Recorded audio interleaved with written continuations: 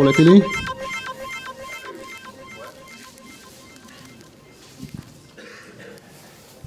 OK, bien, bien, bien, bien. Merci d'être venu. Euh, merci euh,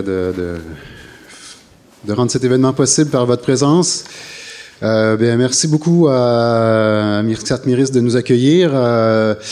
Merci à tous les autres lieux aussi. J'ai été concentré sur le, le, lieu ici, mais il y a beaucoup d'efforts qui ont été déployés partout, partout, partout. Bon, je vais pas refaire toute l'histoire, mais mardi soir, je suis venu à Mixart Miris pour euh, leur demander si on pouvait euh, faire quelque chose ici. Euh, tout à l'heure, j'ai dit qu'on m'a donné un oui inconditionnel.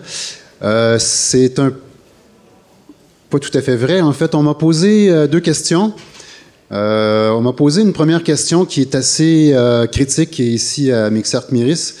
on m'a demandé vous, vous, attendez combien de, gens exactement parce qu'il faut qu'on prévoie de bière?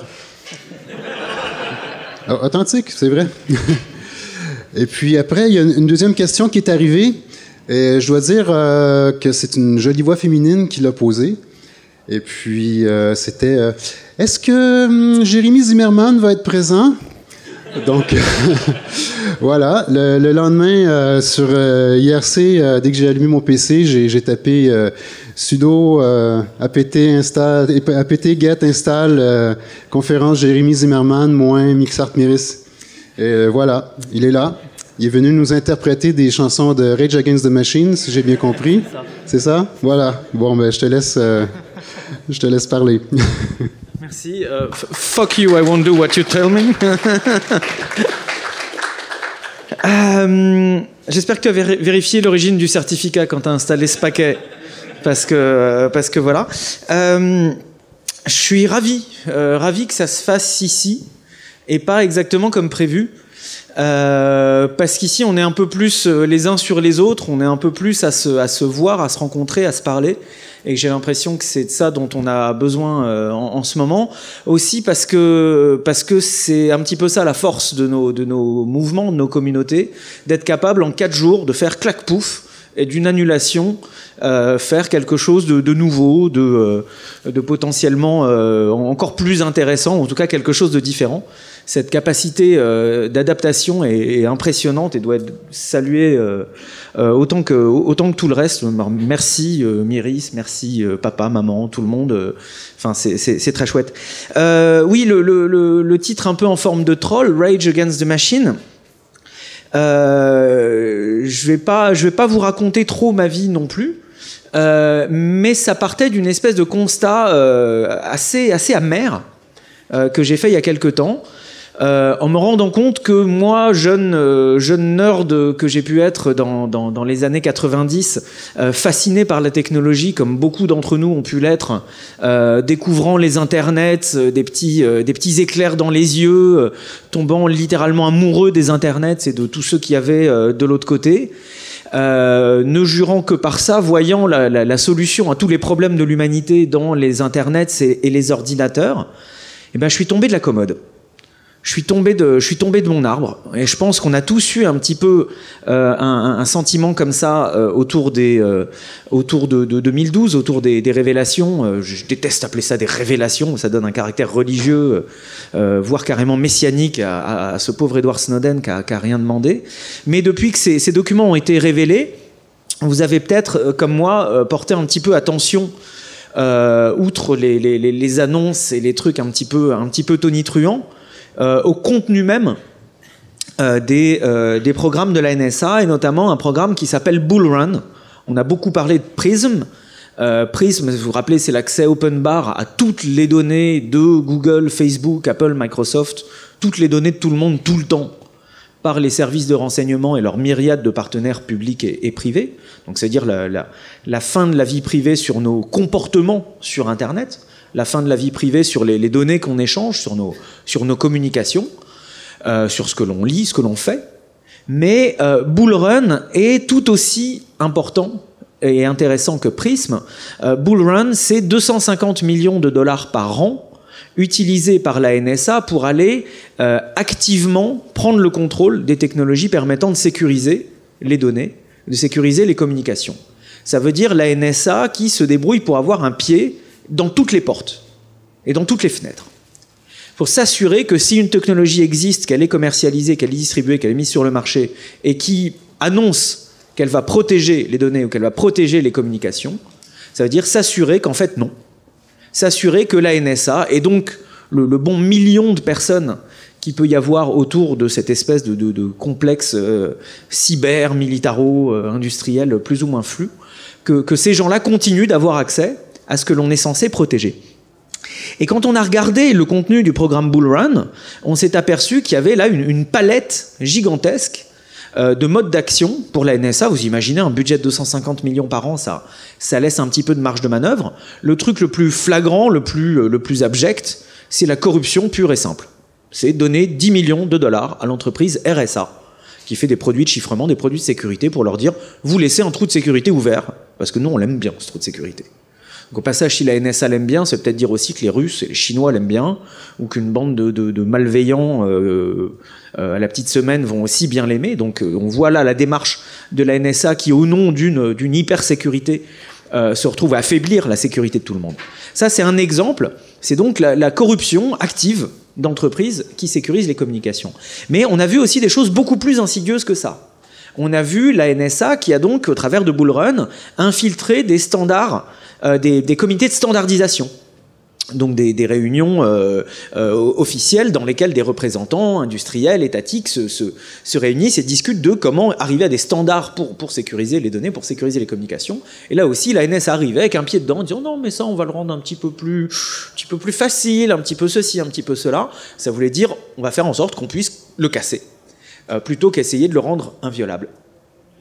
On a vu ça et euh, donc un, nombre assez, euh, assez conséquent de, modes d'action. On sait qu'ils ont aussi infiltré des équipes de développement, où là tout simplement il doit s'agir de, faire recruter quelqu'un, euh, générer le CV idéal et envoyer la bonne personne au bon endroit, se faire recruter, ensuite s'assurer que toutes les trois lignes de code, il y en ait une dans laquelle il y a une petite, petite farce, un petit œuf Kinder. qui permet à la, NSA de, rentrer dedans quand, elle le souhaite. Et donc quand on, quand on déroule ça, on s'aperçoit qu'il s'agit d'une entreprise de, sabotage, de sabotage actif de la technologie, de toute la technologie, de tous les outils que l'on utilise. Et si Prism, euh, la liste des, participants est bien connue, euh, Microsoft, euh, Apple, Facebook, Google et compagnie, dans Bullrun c'est beaucoup plus flou, mais on a vu des entreprises comme Motorola, Qualcomm, Intel, Cisco, des gens qui fabriquent le, hardware, des gens qui font le, matériel, des gens qui font les, puces dans les téléphones, les puces dans les ordinateurs, les puces dans, dans les réseaux.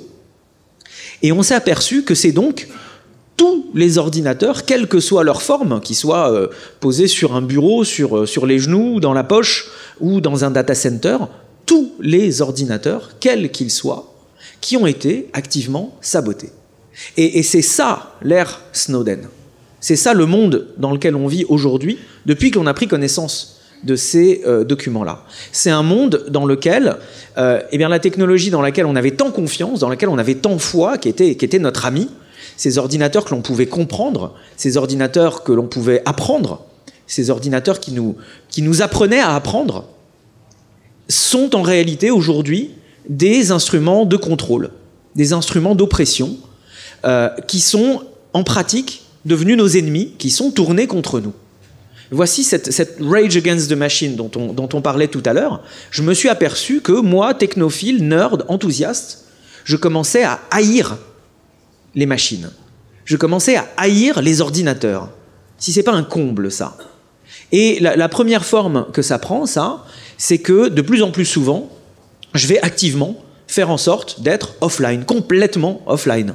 C'est-à-dire avec la batterie du téléphone sortie pour avoir une vraie conversation, euh, dire des choses importantes et m'assurer qu'il n'y ait pas, euh, par inadvertance, un truc qui puisse euh, enregistrer ou quoi, parce qu'on n'a pas vraiment moyen de le savoir aujourd'hui. Mais j'ai de la chance. J'ai un de ces ordinateurs de poche dont on peut encore retirer la batterie. Et c'est plus le cas de bien des machines qui sont vendues aujourd'hui. Donc, pourquoi j'ai voulu ouvrir cette discussion ici? Et j'ai vu qu'on m'avait mis un un, créneau d'une heure trente, euh, alors qu'il n'y a pas forcément, euh, enfin, j'avais pas pensé, euh, j'ai de toute façon pas pensé occuper tout ce temps-là. J'ai surtout envie de lâcher le micro et, d'ouvrir ça dans une conversation la plus ouverte possible avec avec vous tous, parce que ici il y a beaucoup de gens qui qui sont comme, comme moi j'ai pu l'être, vraiment le, nez dans la technique, les, les, bras sous le capot à, fond de ça, et j'aimerais avant tout vous entendre là-dessus. Mon idée, c'était comme la NSA a mis une bonne quinzaine d'années à obtenir ses budgets quasi illimités et à obtenir ses accès quasi illimités avec toutes ces entreprises-là pour arriver à subvertir, à saboter euh, tous les appareils, tous les ordinateurs, toutes les technologies qu'on utilise aujourd'hui. Ça, ça partait d'une stratégie très, euh, très précise qui devait être écrite bien avant le 11 septembre 2001 euh, jour où la justification de toutes ces choses-là est devenue politiquement évidente, tout parallèle avec une situation politique en France euh, ne serait hélas pas tout à fait fortuite. Euh, cette stratégie de la NSA était quelque chose de, de, pensée très très très en avant pour que au 11 septembre 2001 ou six semaines après quand le Patriot Act a été adopté, pour que le Patriot Act ait déjà été écrit le 11 septembre 2001, il a fallu se pencher dessus bien avant. Et donc il a fallu se projeter à un moment où il aurait été inacceptable aux États-Unis d'Amérique de mettre en œuvre euh, la surveillance de tous les citoyens et de tous les citoyens du monde et d'aller tout casser et d'aller s'infiltrer partout. Eh bien, au moment où c'était inacceptable, des gens ont, réfléchi, se sont réunis et ont créé cette réalité. Ont créé cette réalité, ils l'ont projetée, ils l'ont projetée tellement forte qu'ils en ont fait la réalité et que cette réalité aujourd'hui s'exporte. Eh j'ai l'impression que ce fait d'établir une vision et d'établir une stratégie est quelque part quelque chose qui manque dans nos communautés. On se, nourrit de cette euh, merveilleuse diversité que fournit le logiciel libre. On est dans cette euh, coopétition dans laquelle on agit chacun avec les autres, mais en même temps chacun dans la, direction de notre choix, et quelque part euh, l'histoire tranche. Peut-être Casa, c'est peut-être Emule, c'est peut-être BitTorrent, ça devient BitTorrent, c'est peut-être Debian, c'est peut-être Ubuntu, c'est peut-être euh, Devuan. Et un truc émerge au fil du temps. Mais pour autant, je pense que cette, euh, approche, cette, nature qui, est, la nôtre, n'est pas incompatible avec le fait de temps en temps de sortir le nez du guidon, de réfléchir en termes stratégiques de se demander quel pourrait être notre monde idéal, comment on aimerait y arriver, même si aujourd'hui on a l'impression qu'on ne peut pas, et de là de former euh, une vision et surtout de partager une vision. Alors, vaste programme, j'ai absolument pas prétention à faire ça ni en une heure, ni en une heure et demie, euh, ni en, toute une vie, mais je pense que ce sont des objectifs essentiels aujourd'hui si l'on arrive à reconnaître que l'on est en train de perdre pied, que l'on a énormément perdu de terrain face à nos adversaires et qu'il est aujourd'hui indispensable de, euh, de réagir et de, de, reprendre du terrain, de reconquérir nos libertés, de, euh, de reprendre ou juste de prendre tout simplement le contrôle de ces machines que nous avons perdues. Donc l'idée ici, c'est d'avoir une, discussion qui, pour une fois, pour ceux qui me connaissent, ne sera pas euh, une discussion qui portera sur les sujets politiques ou législatifs immédiats, je ne vais pas parler de loi, je ne vais pas parler du gouvernement, je ne vais pas parler du 12, du 13, du 14 novembre, ni du projet de loi qui a été adopté hier. Merde, je suis en train d'en parler. Euh, L'idée, c'est de parler en termes euh, plus génériques, en termes politiques, certes, mais en termes politiques plus génériques. De parler en termes technopolitiques. De parler ensemble euh, de cette interaction entre la technologie et la politique. C'est quelque chose que nous, les nerds, on a particulièrement tendance euh, à, oublier, on a une grande capacité à oublier. Euh, vous savez, sans caricaturer que euh, faire du code ou s'impliquer dans, la, la, conception, la mise en œuvre de systèmes d'information, c'est des choses qui nécessitent parfois une grande concentration. Donc parfois des esprits un petit peu, un petit peu introvertis, qui ont une grande capacité à se projeter sur une tâche. Mais parfois, le revers de cette médaille-là, c'est quand on est complètement projeté, quand on est euh, un one-man army, quand on est un homme orchestre ou une femme orchestre euh, d'un projet particulier, d'une tâche en particulier, ben on a parfois euh, tendance à oublier de lever le nez et de regarder ce qu'il y a autour. Eh bien, le, pari que je fais ici, c'est qu'on a peut-être aujourd'hui tous besoin de lever le nez et de regarder autour et, d'interconnecter un petit peu ce que l'on voit autour. Donc, trois points euh, principalement. Qu'est-ce que c'est que cette machine que l'on déteste aujourd'hui? Comment s'en libérer? Qu'est-ce que ça veut dire se libérer aujourd'hui? Et euh, troisième point, euh, une liste indéfinie, euh, incertaine, de pistes de réflexion basées sur des, cas d'utilisateurs, sur des, use cases, comme on dit en bon français, et des modèles qui peuvent nous permettre à, peut-être de, penser comment articuler tout ça ensemble. Comment la machine est devenue ce qu'elle est devenue Comment la machine est devenue un outil de contrôle Comment les ordinateurs, tous les ordinateurs que l'on a aujourd'hui, sont des, euh, des instruments d'oppression, ou en tout cas des outils dans lesquels on ne peut pas avoir confiance. Et cette notion de confiance, je crois, doit être au cœur de nos réflexions. Vous le savez parce que vous êtes ici, il y a un truc qui est évident, c'est le logiciel propriétaire.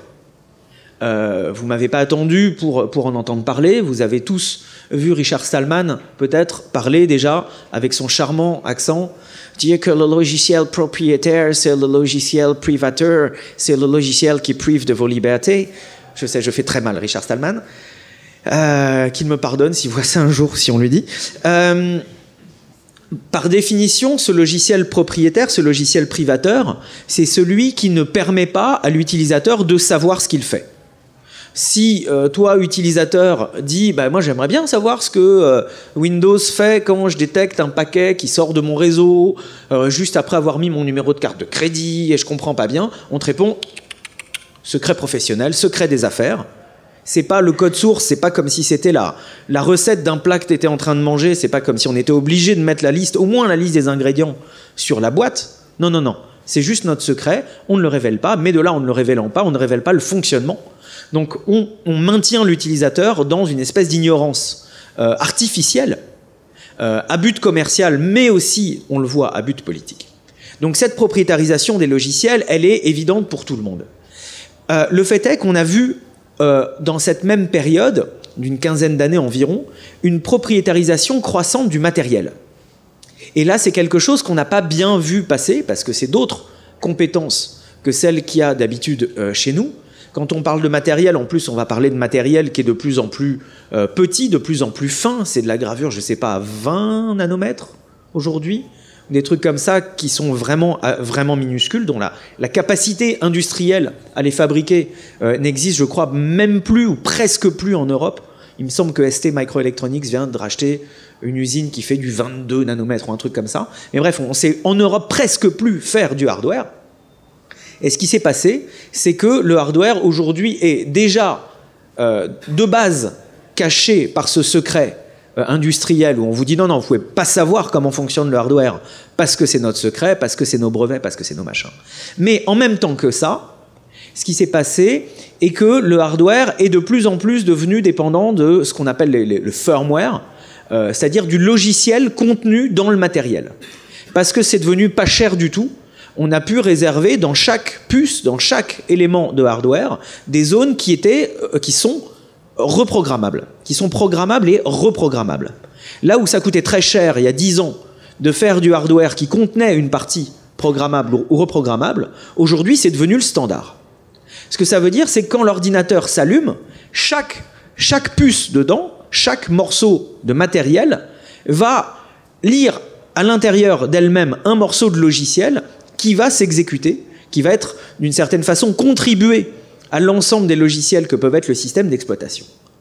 Ce que ça veut dire, c'est que cette limite entre le matériel et le logiciel n'existe quasiment plus en pratique. Et que ces, ces parties reprogrammables du matériel le sont depuis le système d'exploitation, donc depuis le logiciel. Donc un logiciel malveillant, par exemple, peut venir réécrire ce logiciel euh, embarqué, ce, firmware dans le hardware, pour le transformer en un logiciel malveillant, ce qui fait que la prochaine fois qu'on va allumer l'ordinateur, ce logiciel dans le hardware va se charger et lui-même aller réécrire un bout du système d'exploitation. Euh, ont été documentées il y a quelques années des attaques informatiques comme ça, qui étaient basées non seulement sur euh, un, piratage du BIOS de l'ordinateur, mais aussi du contenu, du firmware, d'autres puces. Et le diagnostic de ces chercheurs en sécurité, c'est il n'y a rien à faire. il faut détruire le matériel si on a le moindre soupçon. Et à moins de développer des, outils matériels qui permettraient de lire le contenu des, des de toutes ces puces, qui impliqueraient déjà d'enlever euh, peut-être une cinquantaine de vis et de passer une heure avant d'être capable de le faire, euh, à moins de faire ça, on ne peut même pas savoir que ce genre d'attaque existe. Donc, du matériel qui se propriétarise, mais qui aussi euh, devient lui-même euh, mouvant, flexible et qui repose sur du logiciel propriétaire, là encore, qui vient se mélanger avec notre joli logiciel libre.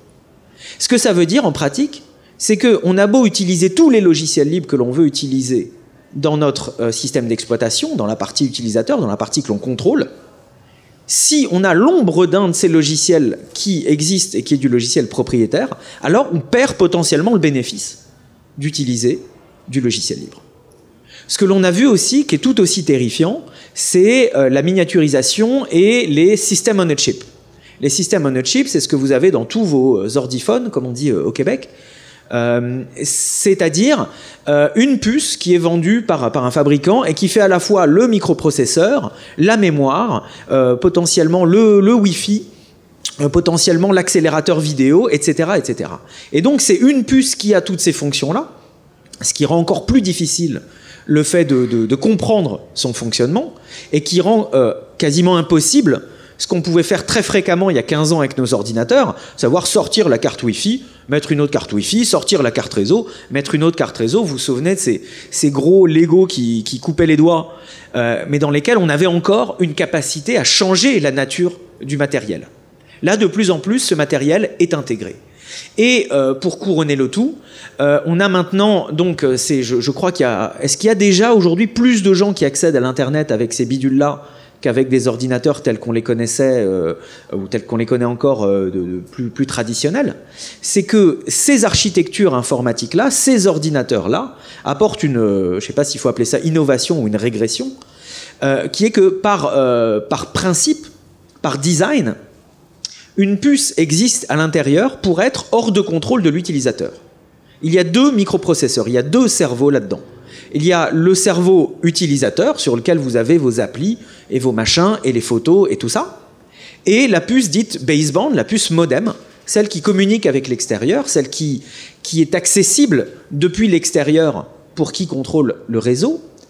Et cette puce-là a été faite pour ne pas obéir à l'utilisateur.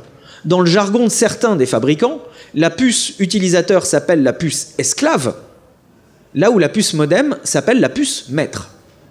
Et vous avez un bon exemple de ça, c'est quand votre euh, ordinateur est objectivement éteint, l'écran éteint, tout, enfin ça paraît éteint, et eh bien vous recevez un coup de fil, boum, le truc va s'allumer, l'écran s'allume, la sonnerie se met à sonner, il reçoit donc une commande depuis le réseau qui lui dit allume le cerveau, allume la machine. Donc ces trucs-là sont maintenant faits pour recevoir des commandes à distance au travers d'une puce encore plus fermée que les autres, qui est la puce maîtresse, qui accède à toute la mémoire et à tous les composants. C'est donc une architecture de contrôle qui est aujourd'hui dans toutes les poches. Et ça, c'est une des caractéristiques les plus effrayantes de ces machines. Je suis en train de me retenir pour pas la, la lancer contre la, la, dalle de béton euh, qui est ici. Une autre des caractéristiques, évidemment, euh, ce sont euh, les services centralisés.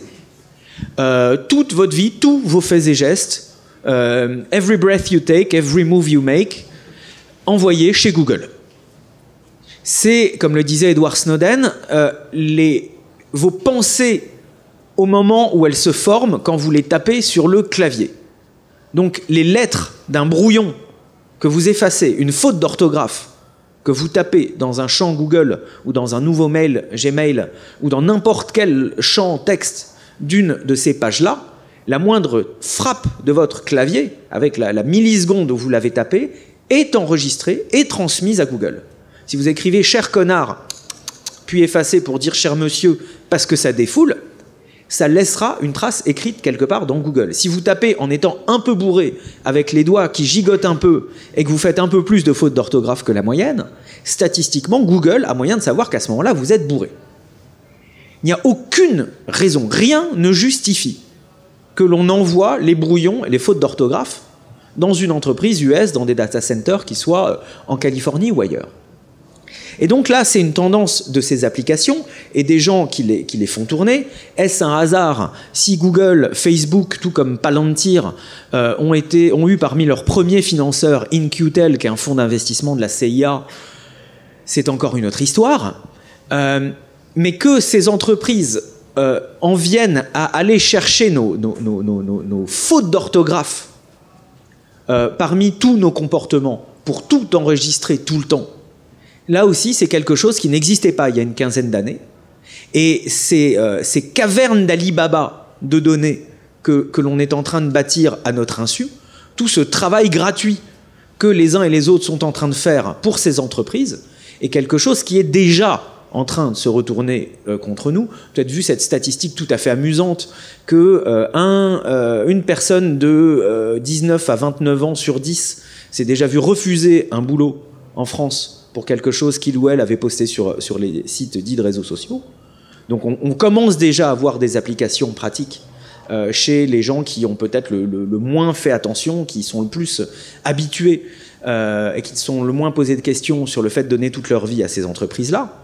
Mais imaginez le potentiel, euh, tout simplement le potentiel politique d'accumuler sur les uns et les autres des données sur tout ce qu'ils ont fait de ces 2, 5, 10, 20 dernières années de leur vie, toutes les pages web qui ont été lues, tous les, profils qui ont été juste regardés, ceux qui ont été regardés et cliqués, ceux avec qui on a parlé, ceux avec qui on a arrêté de parler, à quelle fréquence on a parlé, etc. Imaginez accumuler dix ans de la vie de quelqu'un sous cette forme-là, et que ce quelqu'un se présente contre vous à une élection.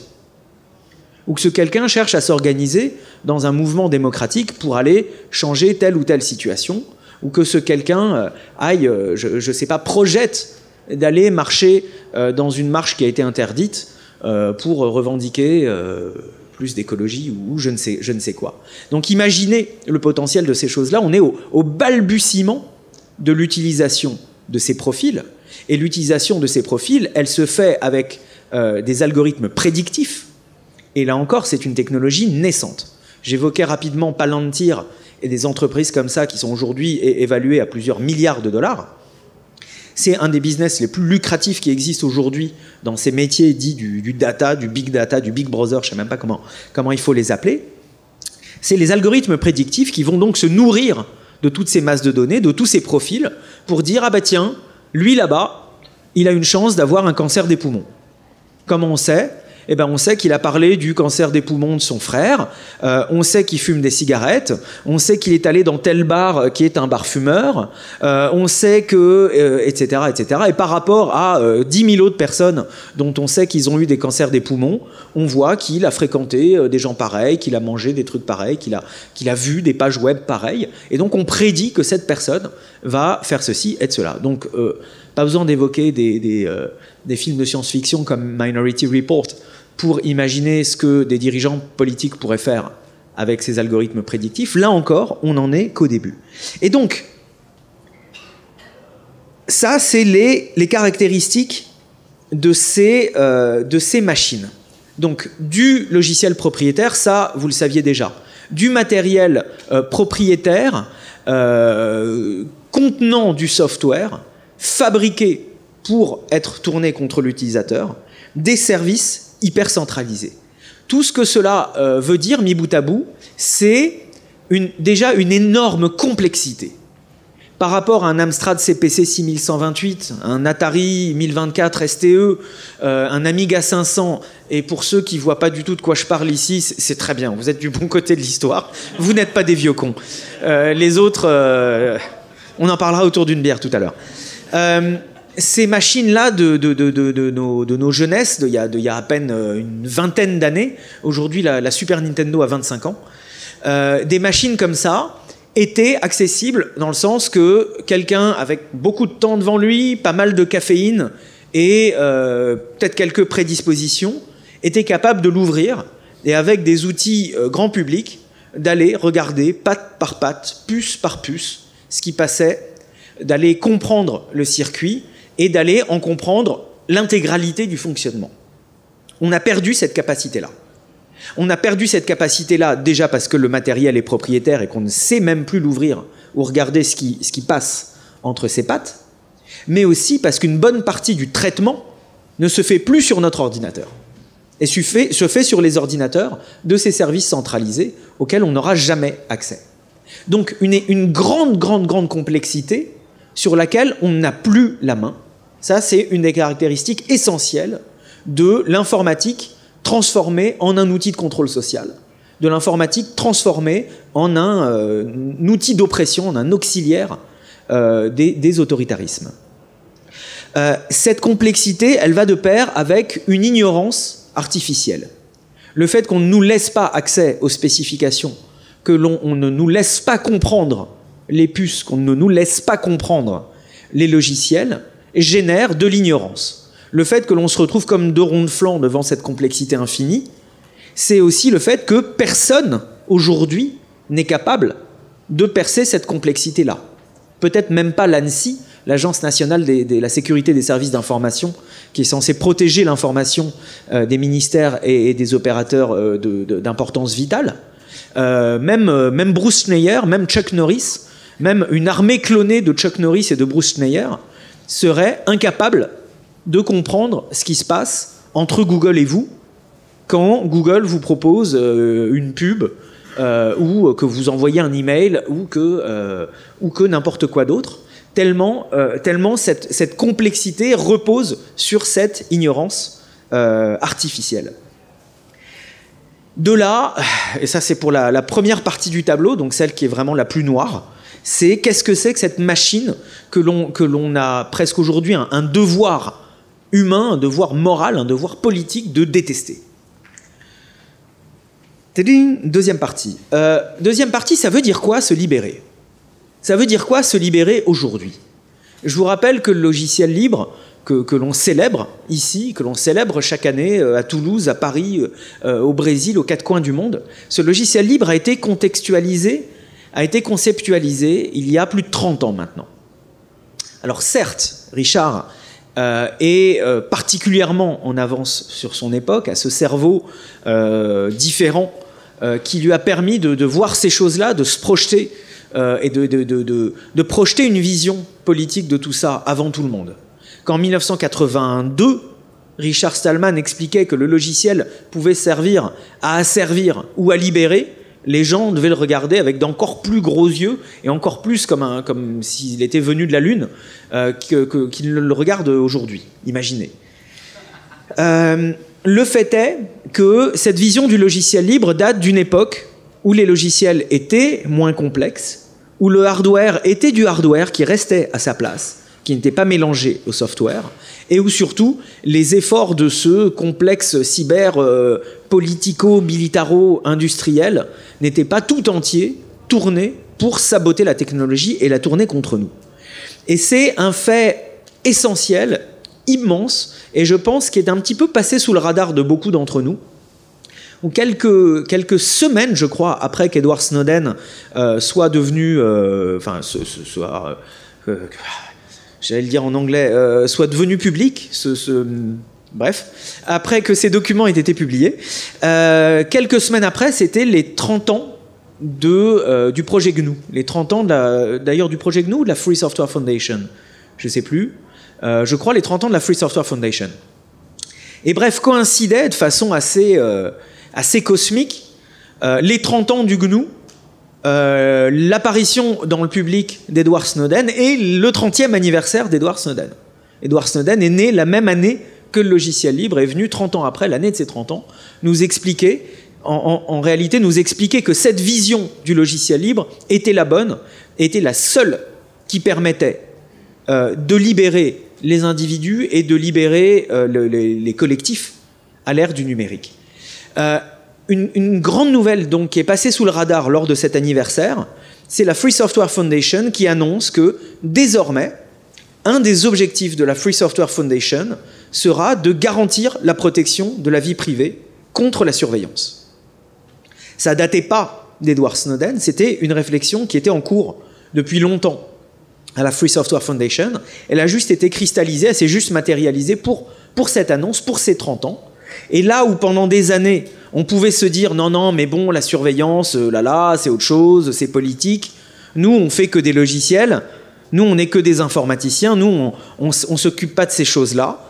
Eh bien, boum, c'est une version 2.0, 3.0 de la vision du logiciel libre qui tombe sur la table et qui nous dit le logiciel, logiciel libre, ça sert à ça. Ça sert à se libérer contre la surveillance. Ça sert à se libérer pour protéger sa vie privée.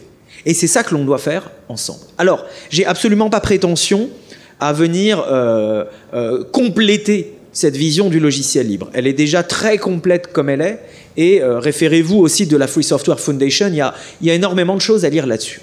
Ce que, ce que, je veux dire, et ce pourquoi je prenais cet exemple-là, est que c'est pas seulement qu'on peut se le permettre, mais qu'on a sans doute le devoir de mettre à jour nos visions en fonction de, des réalités technopolitiques que l'on constate. Et que de la même façon qu'il est devenu essentiel d'utiliser le logiciel et donc le logiciel libre pour se protéger contre la surveillance et pour protéger sa vie privée, il y a quelques autres éléments euh, qu'il faut, je pense, aujourd'hui avoir en œuvre, euh, avoir en tête, et à mettre en œuvre. Euh, déjà, les services décentralisés si ça ne fait pas officiellement partie de la mission de la Free Software Foundation, on a vu tout de même qu'au cours de ces dernières années, elle a euh, euh, fait accéder au rang de projet prioritaire des projets qui allaient dans ce, dans ce domaine-là. Donc les services décentralisés, euh, ça sert à rien que je rajoute quoi que ce soit après la conférence de, Framasoft euh, sur dégoogler les internets, parce que du coup vous voyez très bien ce que ça veut dire et donc très bien à quoi ça sert. Mais les services décentralisés, c'est pas juste du logiciel. C'est du logiciel, mais c'est aussi des serveurs. C'est des serveurs, c'est donc du, hardware. C'est des serveurs, c'est donc de l'administration. C'est donc du temps bénévole. C'est donc des compétences. Euh, c'est tout ça, mais c'est aussi, et certains vous diront peut-être encore plus que le reste, c'est aussi de la promotion c'est aussi en parler. C'est aussi en parler et trouver des moyens que les gens avec qui on a envie de parler utilisent les services que l'on utilise nous. Sinon, on sera le petit village d'Astérix. Euh, même si l'image est charmante, le petit village d'Astérix, jusqu'à preuve du contraire, il est quand même bien, bien, bien entouré euh, de l'Empire romain. Donc l'idée est que ce village d'Astérix puisse grandir, puisse s'interconnecter avec d'autres villages, puisse donner à d'autres villages qui sont eux au cœur de l'Empire romain l'idée de, de se libérer et de se concocter sa potion magique et de... Bon, je vais arrêter l'analogie ici. Euh, tout ça pour dire que les services décentralisés, c'est pas que du code, c'est pas que du hardware, c'est pas que du bénévolat, c'est pas que de l'argent qu'il faut contribuer à Framasoft pour les aider à continuer. Euh, c'est aussi euh, de, de, l'huile de coude, c'est aussi des, des, efforts intellectuels qui iraient dans, dans, toutes les directions pour inviter, pour inciter, pour, j'aime pas le terme, il est vraiment sale, communiquer euh, et pour euh, rendre visible ce qui aujourd'hui est invisible. Euh, les économistes, dans leur, leur science molle et leur grand cynisme, parlent d'effet réseau. L'effet réseau qui serait un des, critères principaux pour évaluer la valeur d'un produit ou d'un service. C'est pas la même chose avec un baril de lessive, mais avec un logiciel de dessin vectoriel ou un service en ligne que vous ayez 10 utilisateurs ou 1 milliard d'utilisateurs, c'est pas du tout la même chose. La valeur de votre produit, même si c'est exactement le même logiciel que vous le vendiez à 10 personnes ou à 1 milliard de personnes, eh bien, il vaudra beaucoup plus parce que ça veut dire que les gens, vous pouvez leur pousser des trucs, vous pouvez leur tirer des trucs, etc. Donc cet effet réseau, c'est quelque chose que, que, l'on ne sait pas euh, émuler, que l'on ne sait pas créer de toutes pièces. Même des gens comme Facebook, etc., euh, ont, quelque part eu de la, chance, peut-être, d'être là avec les bons financements, avec les bons investissements euh, au bon moment pour être en capacité de faire ça. Mais je crois que personne n'est capable de prédire ce qui fait qu'un service a du succès ou non. Tout ce que l'on sait faire, c'est essayer. Et tout ça pour dire que se libérer aujourd'hui, ça n'est certainement pas, et encore moins qu'hier, se contenter d'écrire du code. Et j'ai envie d'insister là-dessus parce que beaucoup de gens euh, se sentent euh, frustrés, voire se sentent handicapés euh, de ne pas être euh, cocher, euh, la mention appropriée, euh, un codeur, un génie de l'informatique, un ingénieur, un ceci ou un cela. Et beaucoup de gens, quand on va parler de logiciel libre, disent Oh là là, logiciel, oh là, mais attends, non, non. Ouh, moi je suis pas programmeur, moi ça, ça m'intéresse pas parce que je ne peux pas. Je suis pas dedans, je suis pas X ou Y, donc, donc je ne peux pas participer. Et ça, me renvoie à mes années de, militance au sein de l'April, où justement on, avait de cesse d'expliquer aux gens que le logiciel libre, ça n'est pas que du code, ça n'est pas que du logiciel. Pour que votre logiciel libre existe, vous avez besoin d'un site web, de gens qui vont se faire chier à faire du web design, à faire de l'intégration, à maintenir du coup un truc sur un coin de serveur. Il faut des gens pour faire des logos. Il faut parfois des gens pour faire des campagnes et lancer les campagnes. Il faut faire des campagnes de financement. J'ai dû en faire une dizaine avec la quadrature du net. Il n'y a rien de plus pénible au monde que de courir à poil avec une plume dans le cul en tendant un chapeau en disant donnez-nous des sous pour qu'on continue à faire ce qu'on fait avec passion. Je vous jure, c'est ingrat, c'est infect, ça empêche de dormir la nuit. Et on a énormément besoin de ça.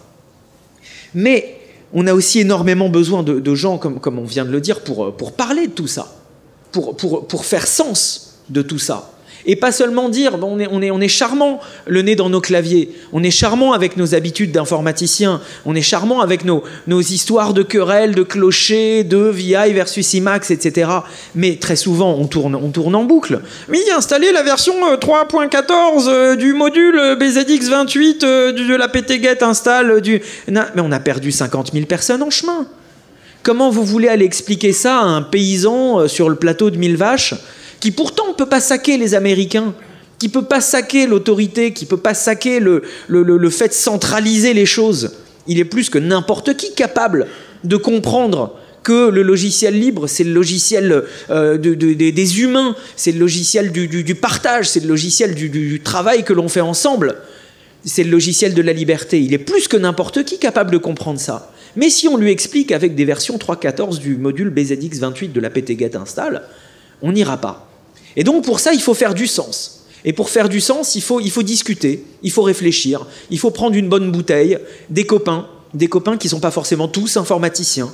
Il faut réfléchir, il faut déconner. Je pense que c'est, je dis pas ça parce que je les connais, mais je pense que quand Framasoft a sorti un dégouglon euh, l'internet avec un village d'Astérix, ben, je pense qu'il y a eu quelques litres de, bière ou de, rouge euh, associés pour, euh, pour avoir l'idée, pour déconner, pour essayer et se dire on va faire ça comme ça. Et ça marche extrêmement bien.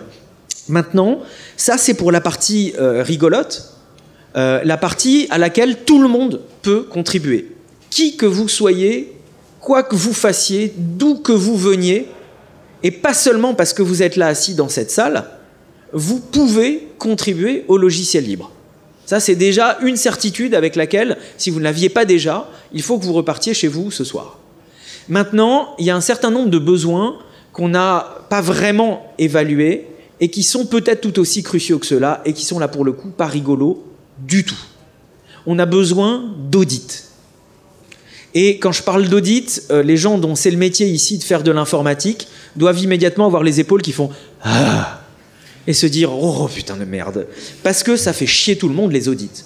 Les audits, ça veut dire prendre quelqu'un qui n'a pas le nez dans le clavier, qui n'a pas le nez dans le code, et qui va être payé à lire votre code.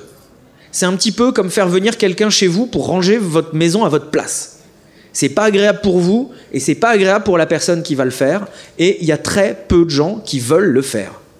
Et contrairement euh, au fait de, ranger la maison de quelqu'un d'autre, pour le coup, là, c'est des compétences qui sont rares et qui coûtent très cher. Vous vous souvenez peut-être de la faille euh, Heartbleed dans OpenSSL. Est-ce que c'était un de ces trous de sécurité euh, mis en œuvre par la NSA Ou est-ce que la NSA s'est débrouillée pour que ce trou de sécurité reste après l'avoir détecté? Ça, déjà, on, sait que pendant au moins un an, la NSA aurait été en capacité de nous aider à, fermer ce trou et la laisser ouvert. Heartbleed, c'est un trou de sécurité qui affectait, je crois, 500 des entreprises du Fortune 500. 500 des 500. C'est un truc qui devait affecter 40 des entreprises du CAC 40. 70 du CAC 70 s'il y avait un CAC 70. Bref, tout le monde qui faisait du business ou pas utilisait OpenSSL pour sécuriser ses communications. Et il y avait dedans un trou béant depuis deux ans dans un logiciel libre. C'est un truc qui a fait le plus de mal en termes d'image au logiciel libre depuis bien longtemps. Mais le problème ici, c'est pas le logiciel libre. C'est même pas tant la, la qualité des gens qui ont fait ce, code d'OpenSSL. En fait, il y a un vrai problème avec ça parce que ça a démarré comme un projet étudiant qui s'est très vite structuré dans une espèce de fondation, mais qui était un machin de, de briques et de broc qui reposait sur trois bouts de chandelle. la, vérité, euh, mon interprétation de, la vérité, c'est que le mois où Heartbleed a été détecté, où ce logiciel utilisé par 500 des entreprises du Fortune 500 euh, était troué, le budget de OpenSSL, c'était 4000 dollars. Donc même pas le salaire de deux développeurs à temps plein, avec les charges.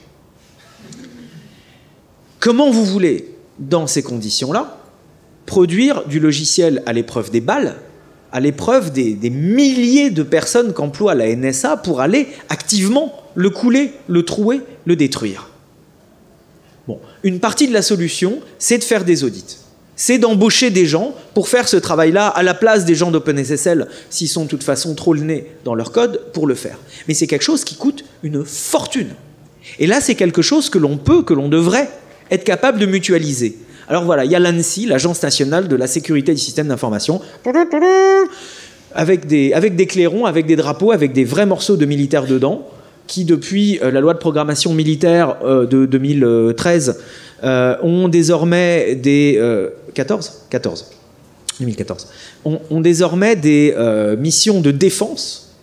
Donc qu'est-ce que ça veut dire la défense quand on parle de euh, cyberattaque? Et est-ce que la meilleure des défenses là aussi c'est pas aussi justement l'attaque? Et que va faire l'ANSI et quelle confiance accorder à l'ANSI, c'est encore d'autres questions. Mais le fait est qu'ils ont au moins 300 hackers brillants employés à plein temps pour sécuriser les infrastructures vitales euh, de, la France et des Français.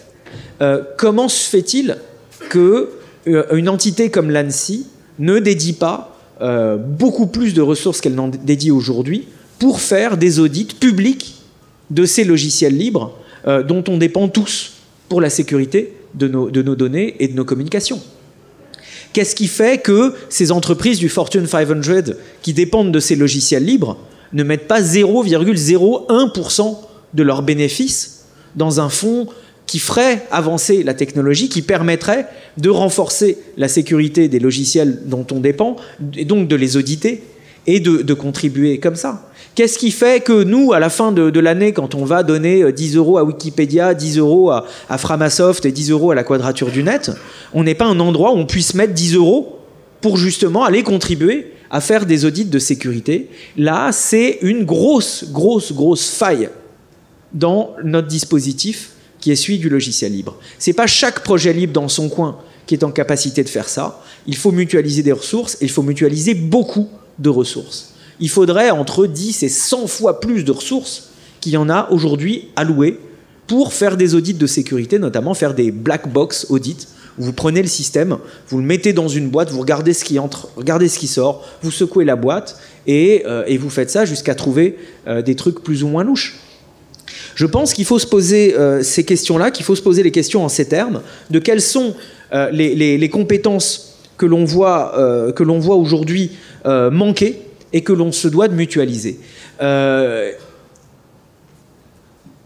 le développement des logiciels libres, c'est quelque chose qui est important, mais on a peut-être négligé le développement du développement des logiciels libres. Et là encore, trouver des ressources à mutualiser, et pas seulement des ressources financières, pour euh, rajouter de la force euh, d'intelligence, de la force de, calcul, de la force de, cerveau disponible sur les projets de logiciels libres existants et sur les projets de logiciels libres que l'on pourrait estimer ensemble comme étant prioritaires pour protéger nos libertés, pour protéger nos communications et nos données. Qu'est-ce qui fait que l'État français, lorsqu'il fait un grand emprunt et va balancer des milliards euh, sur des technologies à la Mormoile Schtroumpf euh, qui au bout du compte vont de toute façon retomber dans l'escarcelle de Orange, de Bull, de Capgemini, de Thales, et toujours les mêmes, et qu'on nous parle du clown souverain ou de machin comme ça, d'autres concepts fumeux. Euh, Madame Axel Lemaire qui coupe des rubans en mangeant des petits fours, en faisant la, la, star de l'innovation des startups et machin.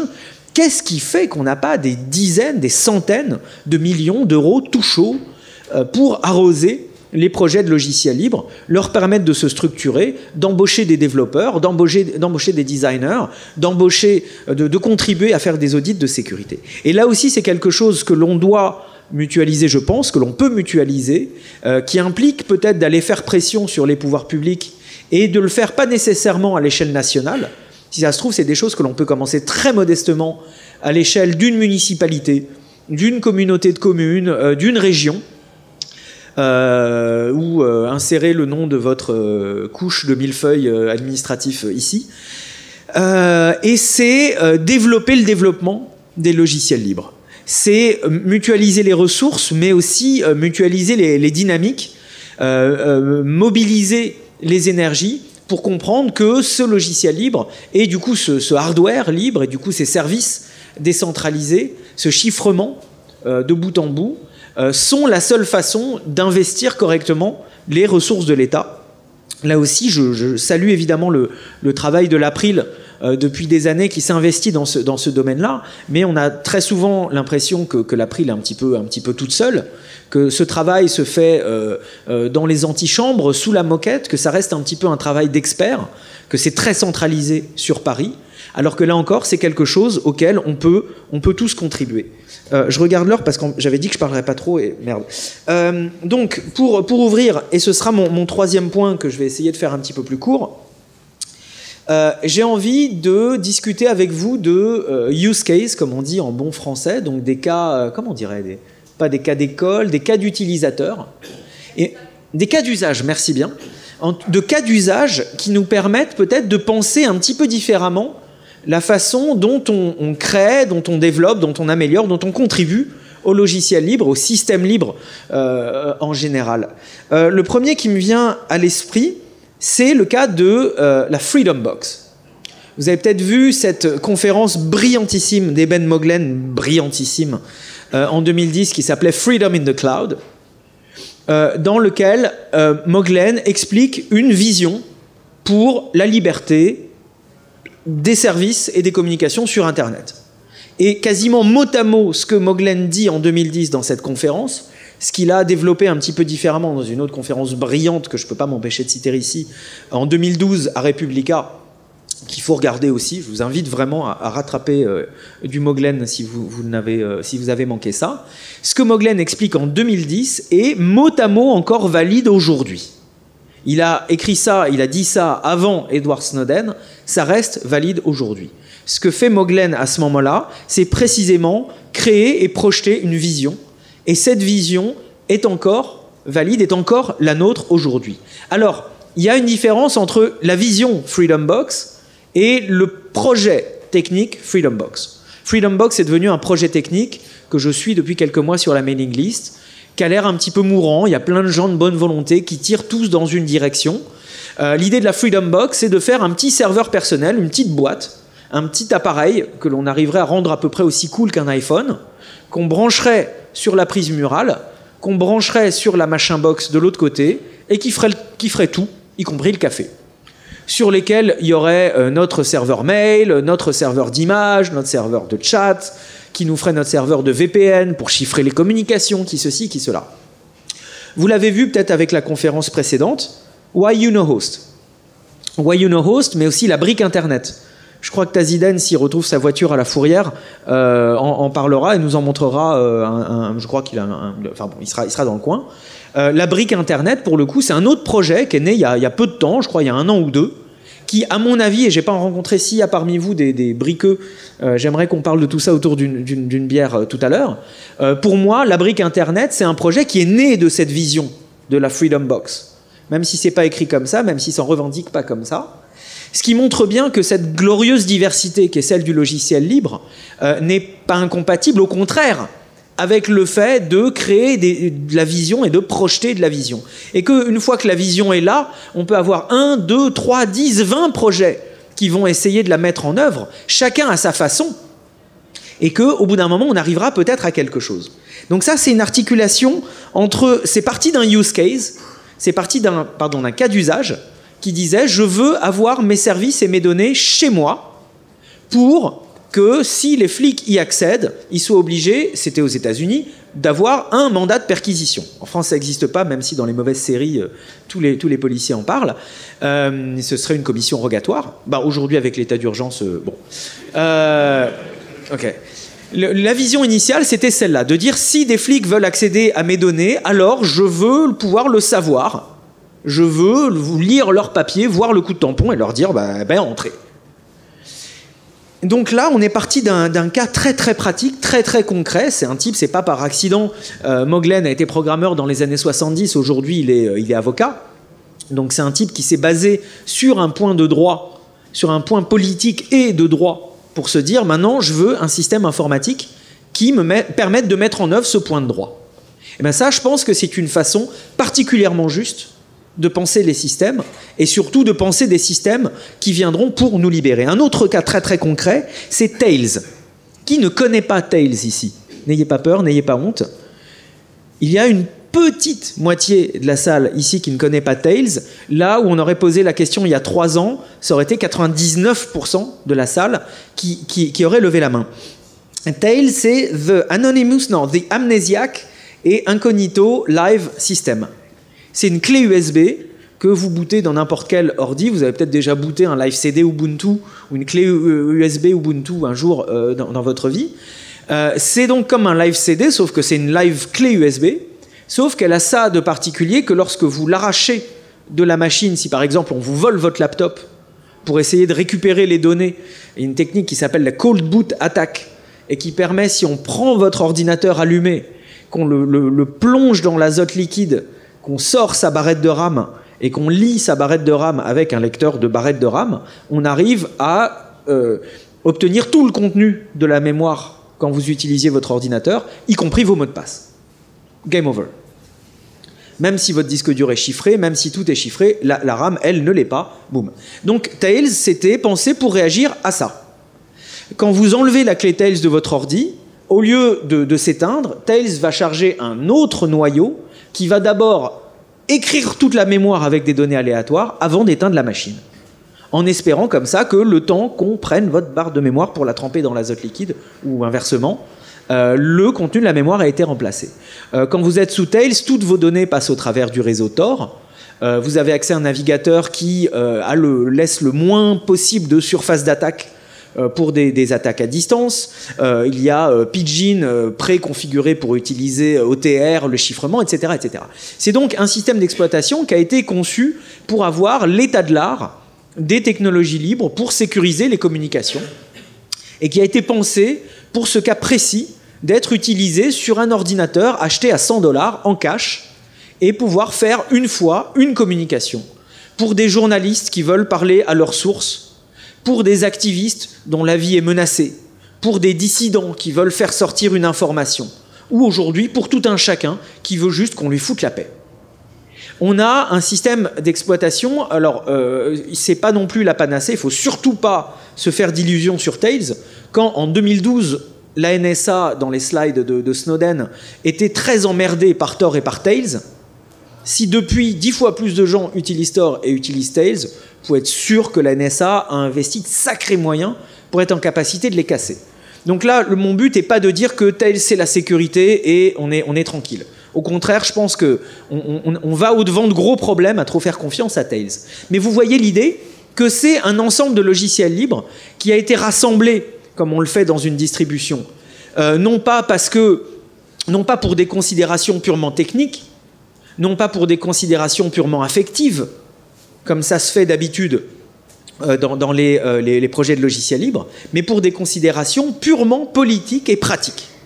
Un cas d'usage qui est aider des dissidents, aider des journalistes, aider des gens dont, la vie est menacée, et que le produit de cette réflexion soit un ensemble de logiciels libres packagés. Euh, j'aimerais donner quelques exemples encore. donc voilà, Why You Know Host la brique Internet. Pond, P-O-N-D, et un logiciel de cryptographie écrit en Go par Adam Langley, qui est le chef cryptographe de chez Google. Donc ça fait deux raisons d'être euh, suspicieux. Mais euh, Pond implémente des concepts cryptographiques absolument géniaux. C'est le truc le plus excitant, je crois, depuis OTR.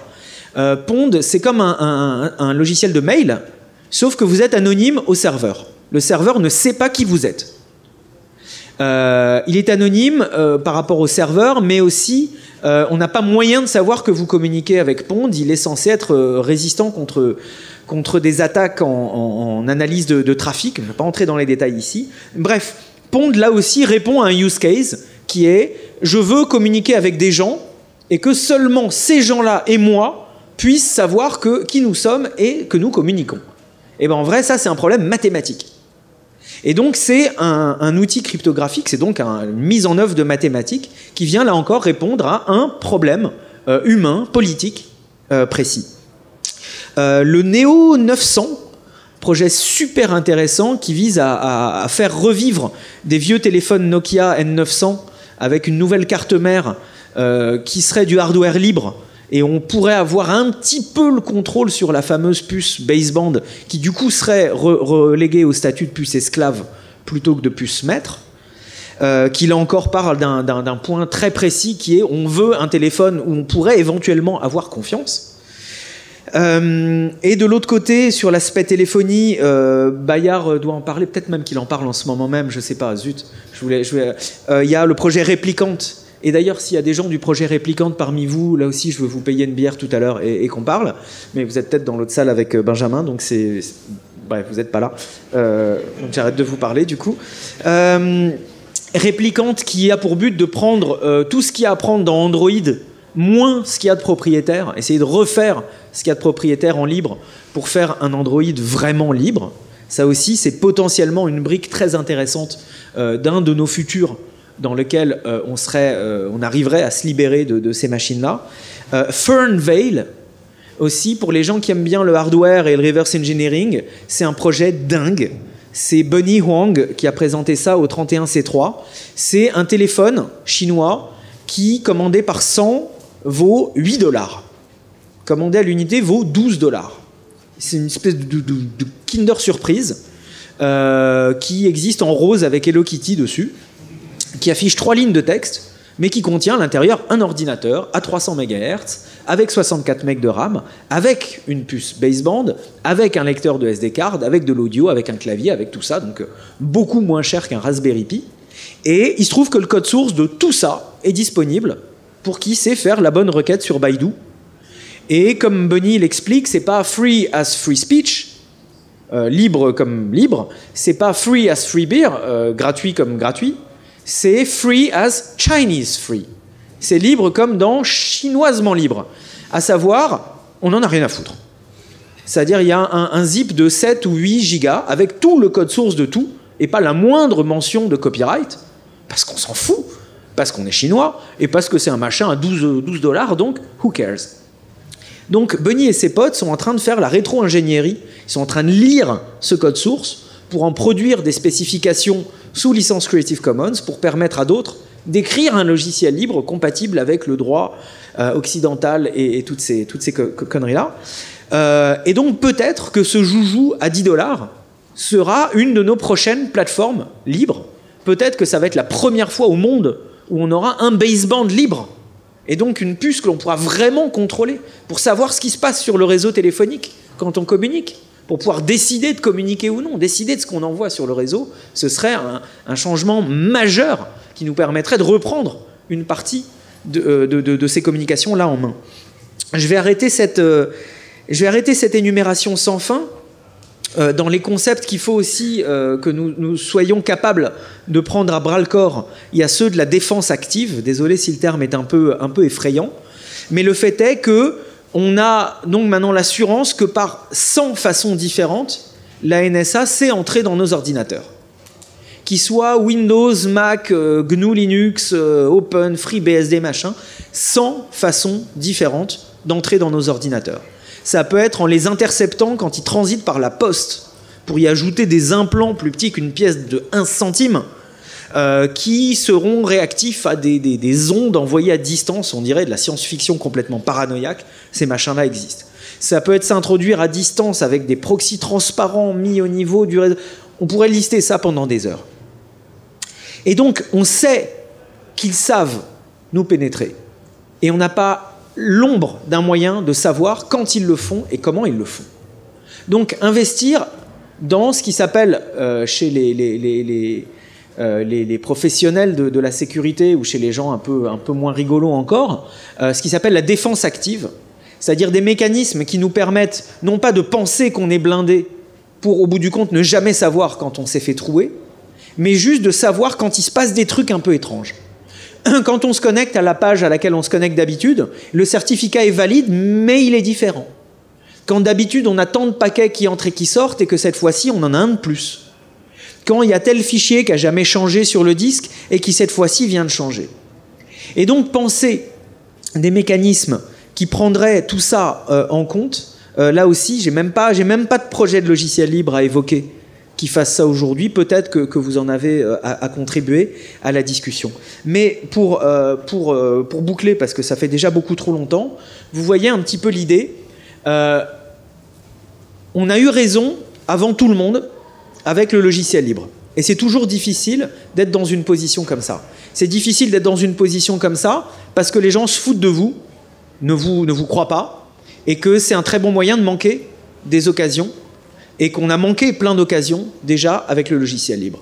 Mais c'est aussi très difficile d'avoir raison avant tout le monde, parce qu'on peut très vite se, se conforter dans le fait d'avoir raison, jusqu'au moment où on se retrouve à avoir tort et qu'il est essentiel que l'on soit en capacité de, mettre à jour notre vision, de mettre à jour notre stratégie, à mesure que se met à jour notre vision du monde.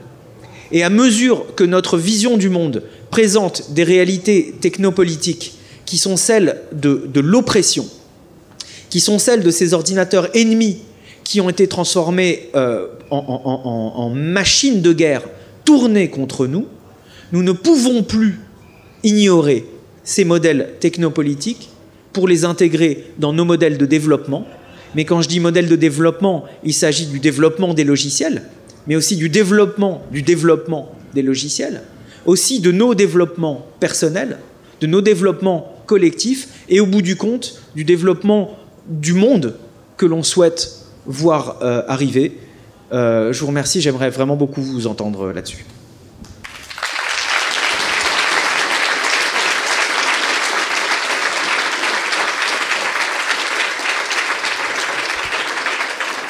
Économiser votre énergie pour vous réchauffer, boire de la bière et, contribuer. Moi, j'aimerais vous entendre sur quels sont vos euh, cas d'usage, quels sont vos use cases, ou quels sont vos projets de logiciels libres que vous estimez stratégiques, quels sont vos modes d'action, vos modes de contribution que vous estimez être euh, nécessaires ou, négligés. Ou, euh, allez-y. Je vois une main qui se lève. Je, vais faire de mon mieux. On a un micro volant, mais par fil, donc une lumière à braquer sur les gens que je vois là. Qui la chance Quelle est la première question ah. Bonjour, euh, juste peut-être une question. Euh, tous nos ordinateurs actuellement utilisés tournent sous Linux, sous Windows, sous Macintosh. Euh, existera-t-il un jour un système d'exploitation entièrement libre et non vérolé par la NSA et autres, et autres organismes? Entièrement libre, oui, ça existe déjà aujourd'hui. Entièrement libre, euh, il y a, alors comment il s'appelle, celui qui est recommandé par la Free Software Foundation, le...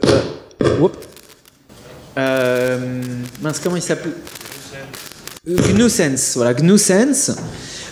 certains pourront dire que Debian, sans les paquets non-free, est entièrement libre aussi. Et ça dépend en fait de comment vous l'installez, de ce que vous installez avec. Si vous faites le choix de ne pas installer ces firmware propriétaires ou de ne pas installer le logiciel propriétaire du tout avec votre distribution de logiciels libres, alors vous avez un système entièrement libre.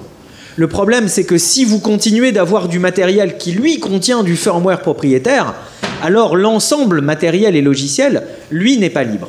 Donc, le, problème, c'est que voilà, cette limite entre le hardware et le software s'étant encore plus euh, euh, fragmenté euh, récemment, ça, devient, hyper difficile. Mais en prenant une, de ces machines Olimex qui sont utilisées dans la brique Internet avec que des logiciels libres dessus, avec éventuellement un dongle Wi-Fi qui serait d'une puce que l'on peut contrôler sans firmware propriétaire, et, vous y êtes. Le, but est justement d'arriver à se construire ces systèmes qui seraient matériels et logiciels libres.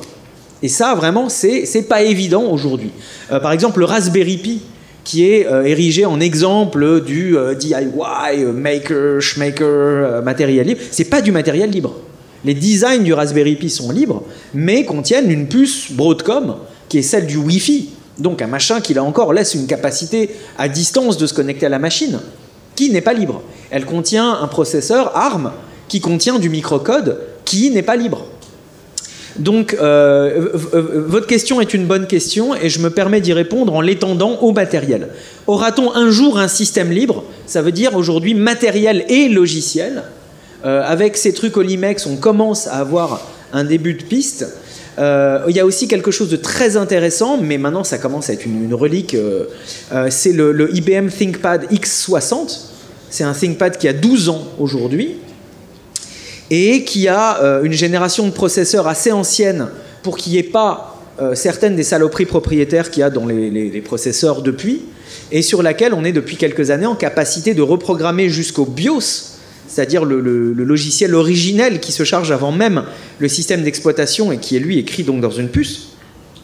Reprogrammer ce BIOS avec un BIOS en logiciel libre qui s'appelle Core et donc quelque part euh, donc désosser la machine x60 pour enlever les composants dont on n'a pas besoin pour réduire la surface d'attaque, mettre core boot, ensuite mettre que du logiciel libre, là on touche à quelque chose où on a quelque chose qui est à 100% euh, libre, matériel et hardware, et qui en plus euh, permet des, bénéfices ajoutés en termes de sécurité.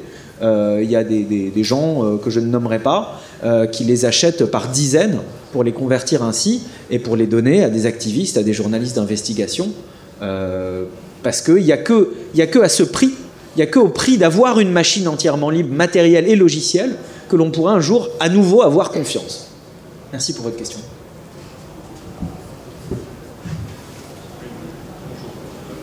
J'entends pas. Euh, tout comme euh, pour euh, essayer de, déceler des attaques de l'Internet vers des serveurs, on a créé des honeypots.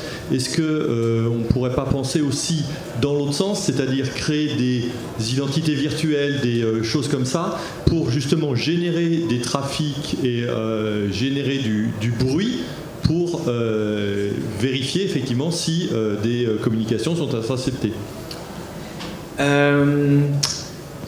tu as quelque chose à faire dans ces trois prochaines années? Non, ça me paraît effectivement être une très bonne idée de, projet.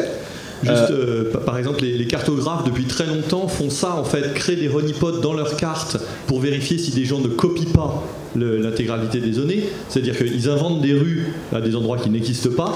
Si cette rue existe sur une, autre base de données, effectivement, les euh, propriétaires d'annuaires, des choses comme ça, euh, c'est des choses qui sont relativement courantes. Et donc, euh, voilà. Écoute, ça me semble être une très bonne idée d'un projet de logiciel libre, une espèce de, compagnon de défense active, un avatar de défense active, une espèce de compagnon virtuel. maintenant, accroche-toi, Coco, si je peux me permettre de t'appeler Coco accroche-toi parce que tu vas devoir feinter ce qui en face sont les algorithmes de Google, de Palantir et de la NSA. À savoir, tu vas faire tourner ton machin sur une machine et tu vas peut-être feinter Google. Sur 10 machines, tu vas peut-être feinter Google. Mais si ça devient aussi utile et important que ça en a l'air et que tu commences à avoir un million de ces profils générés, eh ben ton algo, il a intérêt à être super balèze pour qu'en une milliseconde, Google, Facebook et, et consorts les identifient pas immédiatement et n'apprennent pas la petite règle de rien du tout qui leur permettra de contrer ton contre.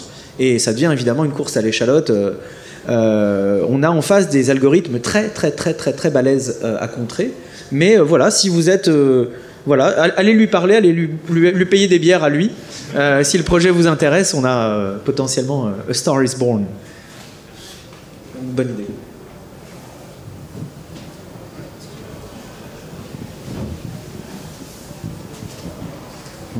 C'est juste pour vous demander le nom du truc chinois à 8 euros là. Ah. truc chinois à 8 euros, oui. Euh, euh, je ne sais pas si c'est son nom officiel ou si c'est la façon dont Bonnie l'a surnommé. S'appelle Fernveil. F-E-R-N-V-A-L-E. E. Et si tu tapes Fernveil et 31C3, euh, tu trouveras la présentation ah, qu'on a faite Bonnie au 31C3.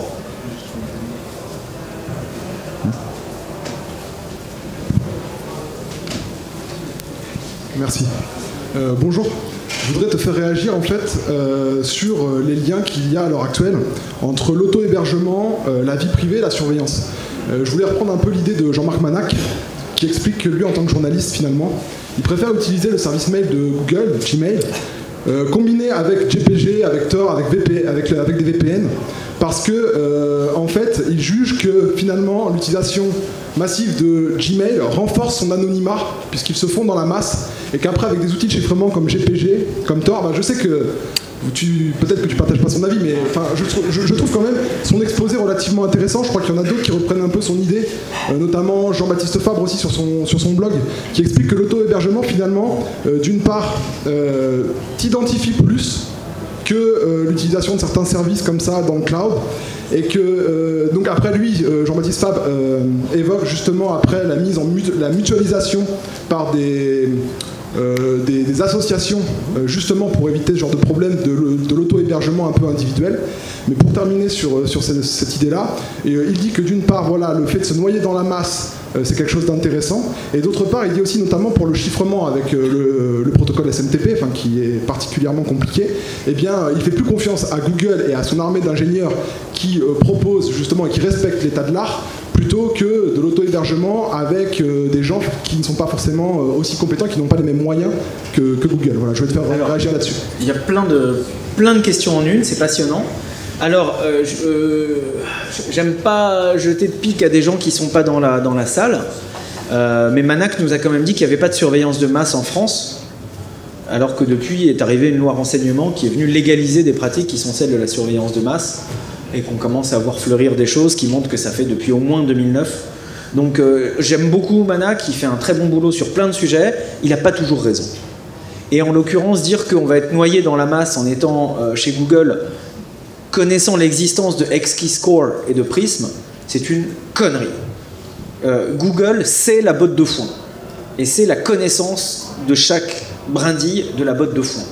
On ne peut pas se cacher dans Google. En revanche, là, il y a une réflexion qui est vraiment, qui est tout à fait valide sur euh, la, nature de cette décentralisation qu'on appelle de nos voeux et le rôle que l'on veut y jouer. Et, je suis d'accord, l'auto-hébergement, c'est le Graal, c'est l'objectif ultime. Aller dire à ton tonton, ta tata, ta maman, tiens, voilà une box, maintenant tu as tes mails chez toi, bye bye, c'est suicidaire. C'est comme y aller il y a 15 ans en disant, tiens, je t'installe Debian, ça marche tout seul, allez, salut. C'est l'assurance d'avoir un coup de fil dans les, dans les 3 heures, dans les 3 jours, dans les 3 semaines. Et, euh, et donc, euh, non, en attendant de- de- d'avoir la vision Freedom Box d'un machin qui marche vraiment tout seul et qui apporte des services ajoutés et un effet réseau qui fait que quand, avec ta Freedom Box de chez euh, Theta Neutral, euh, et que tu vas envoyer un mail à tes amis de chez Theta Neutral, tu ne vas ne voyager que par Theta Neutral, et là, tu auras vraiment un, un bénéfice manifeste à ne pas faire sortir ta communication. D'ici là, il faut peut-être effectivement regarder à des points intermédiaires de décentralisation. La décentralisation, comme beaucoup de choses sur ce, dans ce bas monde, c'est pas 0 ou 1. C'est pas ou tout Google ou tout chacun chez soi. Ça peut être à l'échelle d'une bande de potes, ça peut être à l'échelle du, du Theta Lab, ça peut être à l'échelle de Mixart euh, Miris, ça peut être à l'échelle de telle école d'ingé, de telle promo d'une école d'ingé, d'une bande de potes qu'on va se louer un serveur et se faire un truc. Mais avant tout, c'est une démarche militante et c'est une démarche politique. Quand Manac a l'impression de se cacher de Google et va chiffrer ses mails et les envoyer chez Google, il sait qu'il laisse quand même plein de métadata chez Google et que donc il va travailler gratuitement quand même par Google. Il va enrichir la Google, il va euh, contribuer à la Google. Et euh, quand des gens vont se dire, mais regardez, un type qui s'intéresse à ce point à la surveillance que Jean-Marc Manac utilise Google, bah, c'est bon, je peux l'utiliser aussi. C'est une forme de renoncement et surtout, c'est ne pas reconnaître l'objectif politique de fuck off Google. Et moi, voilà, je pourrais répondre à cette question en trois mots qui sont fuck off Google. On ne veut pas de ces gens-là qui participent à l'espionnage de masse. On ne les veut pas dans nos poches, dans nos vies, dans nos maisons. On ne veut pas de ces gens-là. Ils sont en train de développer des robots tueurs en, absorbant les données génétiques de la planète entière, en faisant des voitures qui, se conduisent toutes seules et en, achetant de l'énergie. On ne veut pas de ces gens-là. On n'en veut pas dans notre monde. Donc dire on va mettre nos mails ici quand même parce que en vrai, je pense qu'il a la flemme. Et euh, euh, voilà. Et euh, mais je, je lui dirai en face, hein, ça, ça m'ennuie. Jean-Marc, si tu regardes, une bière. euh, on se- Je voulais faire réagir aussi sur l'auto-hébergement. Il y, a, il y a plusieurs personnes euh, qui se connaissent plutôt pas mal qui disent que finalement on va être plus facilement ci- ciblé Ouais, alors. Alors, euh, j'ai essayé d'éviter de rentrer et je crois que j'ai échoué, euh, de rentrer trop profond dans les considérations qui ont, qui ont trait à la sécurité informatique. Parce que si tu veux faire ça bien, tu le sais sans doute, euh, il faut que tu partes d'une analyse de risque rigoureuse et de la définition de modèle de menace. Tu ne veux pas dire la sécurité avec un S majuscule, il y a la sécurité pour toi, la sécurité pour toi, la sécurité pour toi, la sécurité pour moi, et il y en a des différentes.